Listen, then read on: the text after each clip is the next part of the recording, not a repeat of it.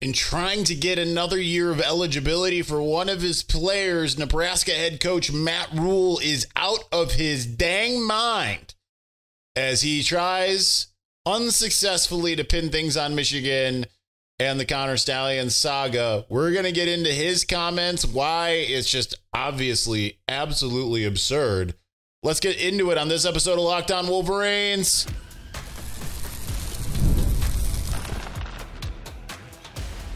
You are Locked On Wolverines, your daily podcast on the Michigan Wolverines, part of the Locked On Podcast Network, your team every day. Happy Tuesday. We are back and doing it. Locked On Wolverines podcast, part of the Locked On Podcast Network, where it's your team every day. I'm your man on the ground, Isaiah Hole, publisher of Wolverines Wire through USA Today Sports Media Group. And uh, I don't know why I didn't do this. The I'm still getting used to having uh, having the technology I have. So anyway, um, Matt Rhule appeared uh, in his press conference, and he's lobbying for uh, for one of his players to get an extra year of eligibility. And in doing so, he takes a crack at Michigan, uh, trying to make sure that DeShon Singleton, who is otherwise in his final year of college football, uh, he's trying to to basically throw Michigan under the bus to help himself. Right? Michigan also gets you ratings and going up against them in one way or another. Like it, it's it's absolutely absurd what has been going on uh, here with this. So let me get to, to his quotes. He says, obviously, everything that happened against Michigan last year seems like there's some cloak of, you know, whatever. DeShon Singleton got cracked on a run play. Did they know it was a run play? Is that game going to count in a couple years? I thought he shouldn't get penalized for one play in a game that's, in my mind, not even a real game, but the NCAA disagreed. I almost don't even need to spend seven or eight minutes on this. I basically can spend 30 seconds. Did Michigan know it was a run play? Well, considering that DeShon Singleton is a safety and he got hurt on Nebraska defense while Michigan was on offense, I'd venture to guess that Michigan probably knew it was a run play because they were on offense. Like, how absolutely absurd do you have to be to even conjure up something like that, right? Like, you're trying to gain sympathy and all of this. I get it. You're trying to again get the torch and pitchforks out, all of that kind of stuff. But like this is like keep Michigan's name out your mouth because it's very clear Connor Stalions had nothing to do with that. Did Michigan know it was a run play? Of course they knew it was a run play because they were the ones calling the run play. What are we doing here? We're a year past all this. It's that game is a year ago in the rear view. Michigan won that game, what, 52 to 7 or whatever it was, 49 to 7. I don't even remember. All I know is that Nebraska couldn't do anything. And all it takes is looking at what kind of plays did Michigan make. JJ McCarthy throwing to Roman Wilson after JJ McCarthy scrambles, right? Pressure gets through. Did, did they know that Michigan was calling a pass play on that? Right? Because the pressure seemed really good. JJ McCarthy scrambles out finds Roman Wilson the end zone where he pins it up against a Nebraska player's helmet. I've seen Nebraska people trying to argue this online. It's absolutely absurd. Uh, what what also happened? Kind of similar. JJ McCarthy escapes the pocket, finds Roman Wilson in the back of the end zone after uh, Wilson runs a scram, you know, basically a scramble drill to to go up. At that point, I think it was twenty one to to zero. But uh, what else happened? The second touchdown, Kalel Mullings, like a fourth and one or a third and one, one or whatever that was, gets through the line of scrimmage. They couldn't tackle him. There were bodies there. Did Michigan know they were calling a run play on that one? It is absolutely asinine that, like, I understand, have your players back, but don't throw other teams under the bus. And like this whole like NCAA disagreed, it's not even a real game, getting penalized for one game. I mean, I here's the thing. If he played in one game and that happened to be against Michigan, right? That was the fifth game of the season. I agree. He shouldn't be penalized getting hurt on the first uh, play of the game. 100% agree with that. Now, I, I'm with you. If you want to if you want to make that argument, but to basically say well, he should be able to play because Michigan was cheating. Sorry, cheating. Now that I can do the voice again. That is the most absolutely ridiculous argument that I've heard.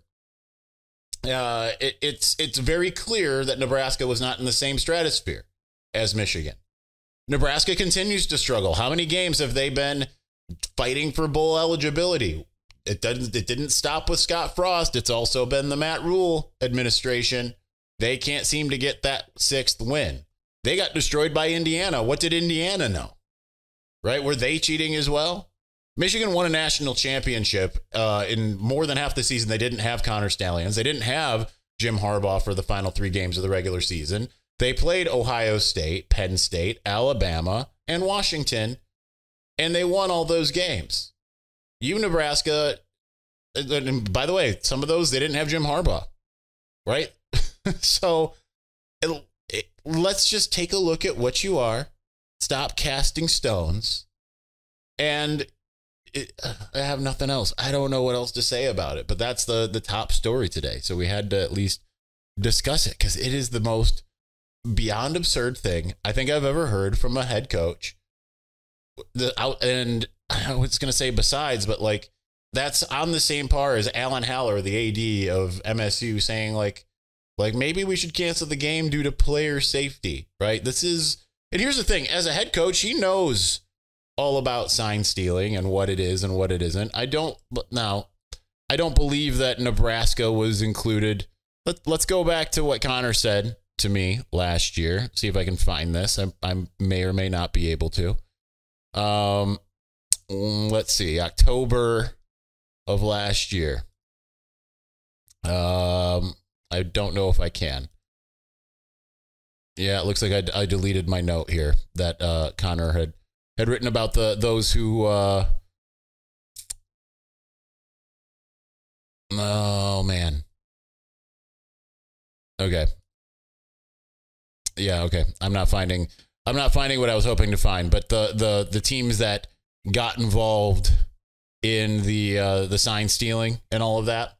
Um, it's it's in my notes somewhere, but I probably opened it at some point and it went to a different month, so it's not exactly easy to find here. But um, nonetheless, I'm, Nebraska was one that I know did some, if I recall, did some trading. They weren't oblivious to it, but they weren't necessarily a massive participator.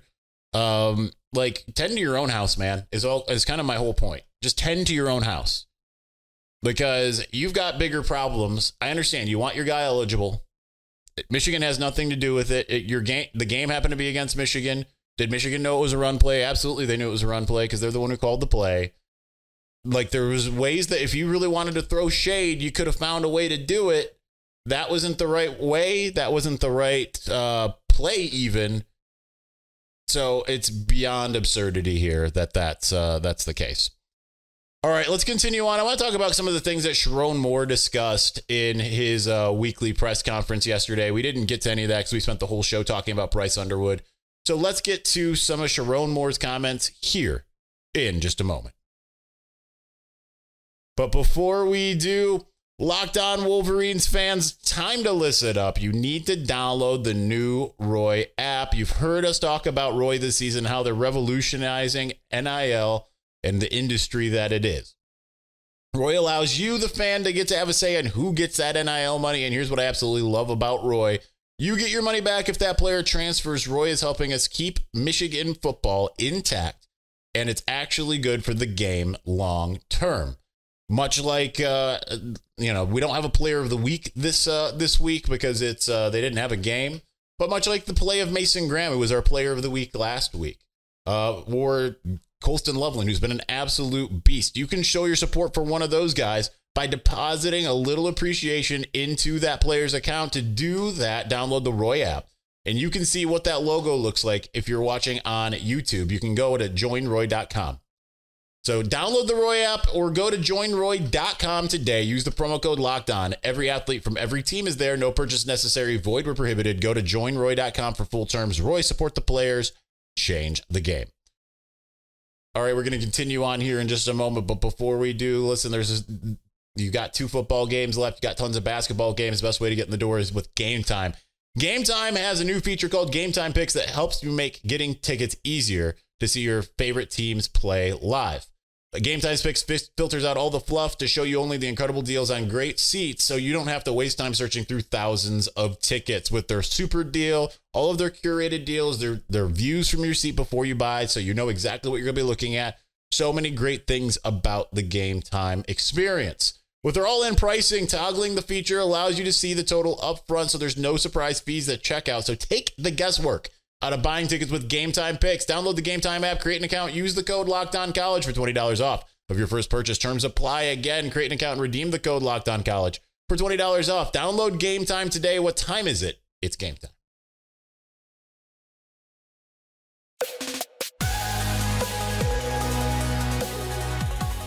All right, let's continue on as I move screens here. I'm just I'm playing around for the most part here with uh, having a screen above the camera now. Um, all right. Lots of uh, interesting things that came out of the Sherrone Moore press conference earlier uh, in the week, as in yesterday. Uh, so I am excited still about the recruiting aspect. So let's talk a little bit about what he had to say about that, because one of the things that he was asked about is Michigan still a transformational or over transactional. Obviously, there's these rumors that you guys are paying everything. So there's a two part uh, question that I'm going to read you what he had to say. So when it comes to NIL, he says it's part of football now, right? NIL is part of recruiting, and it's uh, so it's been a huge piece of it. We're just continuing to strive to get the best players that fit us and the best players we can, and we're getting the support that we need. And then he was asked, "Is transformation over transactional still a pitch?" And he says, "I mean, I think it has to. I think that's just a part of it because it's just a part of college football and recruiting now. So you still have to have the attitude." That you want to come to Michigan to be transformed into something bigger than just yourself. And for us, is the support you're going to get from the boost. It is it it's a support you're going to get from the boosters. It isn't always just financial. It's putting guys in a position, whether it's internships or different things, to make sure you can have a goal that you want to do. And football is not here forever. What can we do to help you accomplish that goal? So that support is a big piece of it too. So um, I love that. And I do agree, like, it still has to be transformational over transactional, even though that there is now much more of a transactional uh, action involved in this. I was talking to someone uh, inside the building there, and uh, like we, we were having this conversation about what what good teams look like in college football, and one of the the kind of common denominator was the culture, obviously, uh, which is what you saw. But it also, and this is kind of where I would love to see uh, Sherrone get a little bit more to, uh, personally, where it's the head coach is much more the CEO and that's what we used to see with Jim Harbaugh in the successful years. That was one of the big changes that happened was Harbaugh stopped meddling with the offense in the ways that he was and took his hands off. Now, I think Sherrone is trying to do that in a lot of ways. And so in some ways, for this year, he needs to get his hands back on the offense more than it is. He needs to steady the rudder and uh, actually start directing the ship more than he has been. Uh, so th- this isn't a knock on Sherrone at all. But I think that he needs to be able to have a little bit more of a trust level than he currently would have, I believe, based off of the struggles that the team has had so far this year. So um, I think that that's one of the big things is being able to establish the culture from the top down, where you know Sherrone would essentially be here is the direction we're going to move in, and everyone else is going to do their job to steer the ship in the right direction. If we hit a storm, I have full trust in them to be able to handle it. Uh, and we're going to go ahead and do that. And when it comes to getting new crew members uh, and uh, new sailors, whatever it is, uh, I'm going to be the one to, to make those decisions. I'm going to be the one to help uh, get those guys in, right? So that's obviously a uh, when I'm talking about staff members as well as recruits. Um, I, I think that they are doing a good job of that despite Michigan's kind of issues so far this year. It's just that some things aren't working and obviously they're going to need off-season changes. There's not going to be a way to fix this in season. I thought that they were on path. I, am I'm, I'm going to beat this dead horse. I thought they were on path with alex orji being the quarterback less because of orji. I do think that orji has a lot of talent and i think you could have made him into jalen milroe light if you would have stuck with it but i thought that they they did things really well against usc they did things okay against minnesota and then they pulled the rug out from under him against Washington. Um, and I thought that a lot of the strategy in that game obviously uh, went far away from what the strategy was the weeks beforehand. Okay, so uh, I, I I think that that was, and let me let me rephrase for those who don't watch or listen to the show regularly. That's why I bring this up again, is because Kirk Campbell was forced to do things differently than he wanted to, and I thought that made him better, right? So that's a big thing. And then taking him out of the equation, giving it like, okay, now I got a passer. It's just they become a team that is not designed to be the type of offense, have the type of offense that Kirk Campbell clearly wants to do. So um, that's a problem. Uh, from a recruiting standpoint, it's similar. You need to have guys who are all in and pulling in the same direction. I've talked about the 17, 18, 19 classes, uh, not necessarily classes, but teams and how they weren't always going in the same direction. There were a lot of me first guys instead of team first guys in there. Not everyone's pulling in the same direction.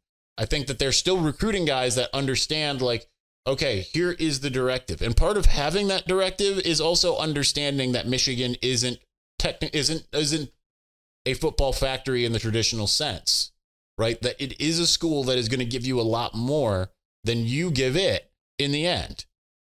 And I think that that is a sell that is continuing to go. And I think that, like, when I talk to people who have been around some of these recruits that are committed, the Jasper Parkers of the world, uh, the uh, um, Nathaniel Owusu Boateng, he's not committed, but I'm just saying, like, those types of guys, they get it. They get what Michigan offers, right? They, that it's, it's more than football. The 40, 40 years over four type of mentality, they come in with that and yes, you do risk upsetting the apple cart when you are offering uh, Bryce Underwood a substantial amount of money. But the pitch, also, even there, I would imagine has to still be transformational over transactional, even as they engage in the transaction. Because if you have a guy that comes in, that's a lot of money, and he's but he's going to upset the apple cart as far as culture, which I don't believe is the case for Bryce Underwood. I think he is very much a team guy based off of what I've heard coming out of Belleville that it that that's still some, something that works. But if you get a guy that's going to be essentially early career Willie Beamen, I should say early starter Willie Beamen, uh, if you get my any given Sunday reference, that is a problem, right? A guy that's all about what am I going to do? What are my stats? What you know? Am I getting paid? Am I getting the credit I deserve? You know, I'm the I'm the star. All of you you can bow down to what I'm doing. I don't think that Michigan's doing that. So um, I think that that's that's a good mentality for Sherrone Moore to have, and I think that that's obviously evidence of the guys that he's been mentored by himself.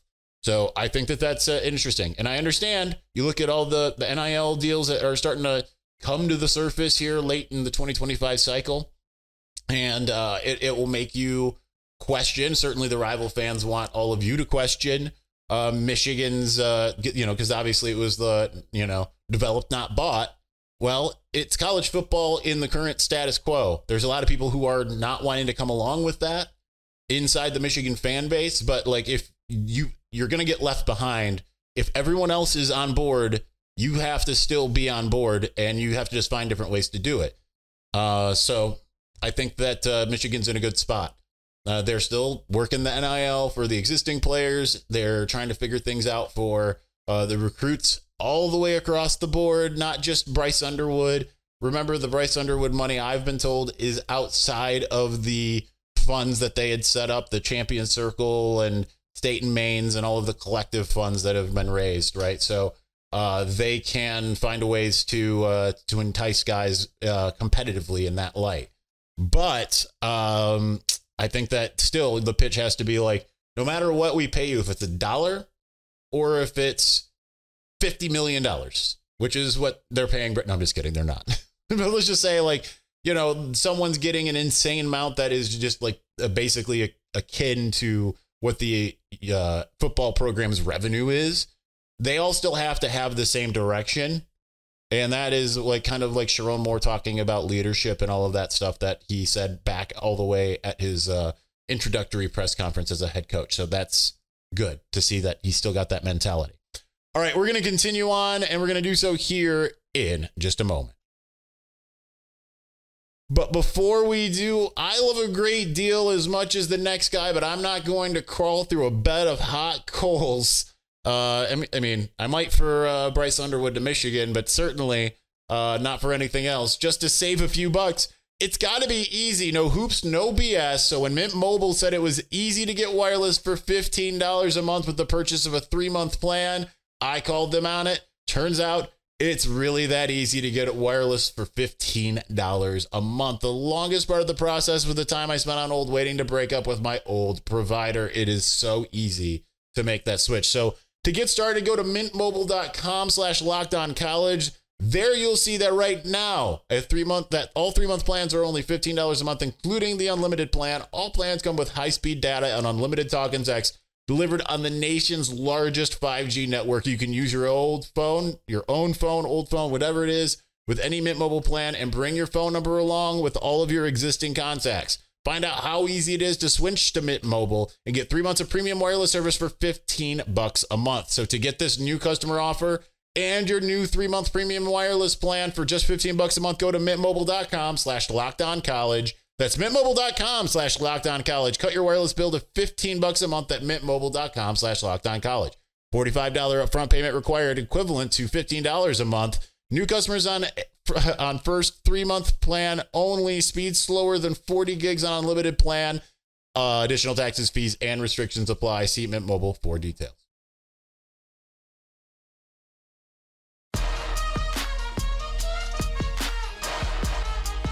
All right, let's uh, finish out continuing to talk about Sherrone Moore. Uh, some of the things that he had to say in his Monday press conference. My big takeaways there. Um, uh, here's one of the things that I think is really cool. And this is why, like, some people I, I know after the Indiana game were, were being, like, I like to say, very undued and they're saying a bunch of stuff. I think people have calmed down a little bit now. But one of the things that you can see when you watch this team is the fact that they have not quit and that is a sign of good leadership. Good coaching, we'll see, right? Like that, it, it's going to take more than a one year experiment to really tell with as much turnover as Michigan had. But certainly good leadership, they have had that without a doubt. So, uh, asked, besides trying to win, what are you looking for the most out of the team this week? Sherrone says that passion, that fire we saw in the second half of Indiana, especially from the defensive guys. They played an incredible second half and offensively thought we could have played better in attacking and fixing those things. But I just want to see them have fun. This game is about having fun, and there's so many negative things that people trying to bring you down in this world. And at the end of the day, these are kids. I love these kids, win, lose, or draw. They're like our kids. They're my kids. They're Michigan's players. They're our team. I want to see them go out and have that competitive fire and have fun.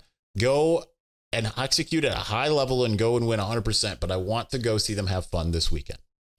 Uh, and I, I, I think that that is an important part of it, right? Like a team, you saw that in the last three years as teams that they were having fun, especially last year's team. That that was a team that was having more fun than any of the others, right? Like, uh, I mean, I thought that they were having fun all three years, and you saw that with like jump around and the we make their stadium our stadium and all that kind of stuff. They haven't really been able to do that this year, right? Because uh, they've uh, they've lost all their road games, right?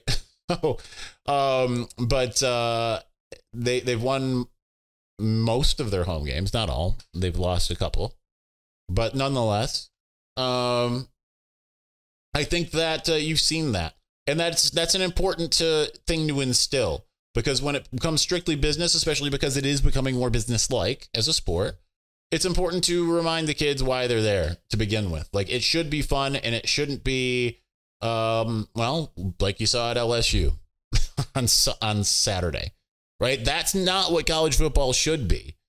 Uh, so it should be more of like, okay, you're, you know, they, they should certainly feel it if they're not doing good, but that doesn't mean that they should also um, hate life too, right? Like it's it's because you can't have that pressure and expect to do well.